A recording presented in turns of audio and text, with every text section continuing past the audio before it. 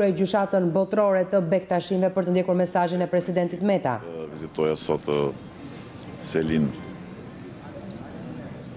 e shenjtë të kryegjyshatës botërore dhe t'i uroja kryegjyshit dhe gjithë besimtarëve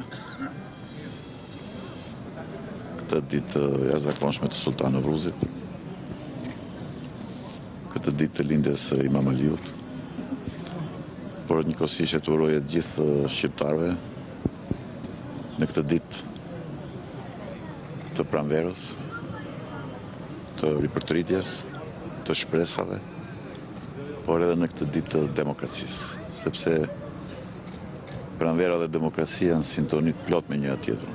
Mjafton të shikoni Lulet e çelura janë të ngjyrave të ndryshme, ndaj edhe japin më shumë shpresë, optimizëm dhe gjallëri. Edhe kështu është edhe demokracia, sepse të tilla janë edhe shpresat e qytetarëve për një jetë më të mirë, në paqe, më të begatë, Dhe për të kaluar aq më tepër këtë dimër të gjatë me vështirësi të mëdha, po edhe me vuajtje të pazakonshme edhe për shkak të pandemisë. Sot bashkohemi me lutjet e kryegjyshit botëror dhe të gjithë udhëheqësve tanë të besimeve për shëndetin e çdo qytetari të vendit tonë dhe apeloj për të bërë kujdes sa më shumë dhe njëkohësisht edhe të jemi më optimistë për të ardhmen, më solidarë me njëri-tjetrin, më bashkëpunues, më tolerantë, më të dashur me njëri-tjetrin, e mbi të gjitha të mbizotërojë në zemrat tona, dashuria, për Shqipërinë, për atdheun tonë të përbashkët. Zoti President, po flisni me shumë simbolika, dimër i gjatë, ngjyra të ndryshme, pranvera. Ka qenë dimër jo i zakonshëm, kemi pasur reshje dëbore jo të zakonshme, aq sa ende po të shohim në malet e Dajtit dëbora është zotëruese, por lulet kanë çelur, mimozat kanë çelur, dhe jo vetëm ato.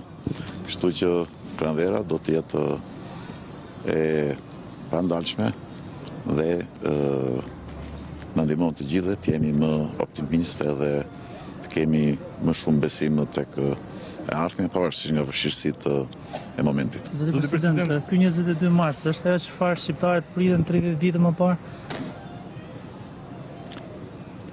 Që nuk duhet të flasë këtu në këtë seli të shenjtë për atë çështje.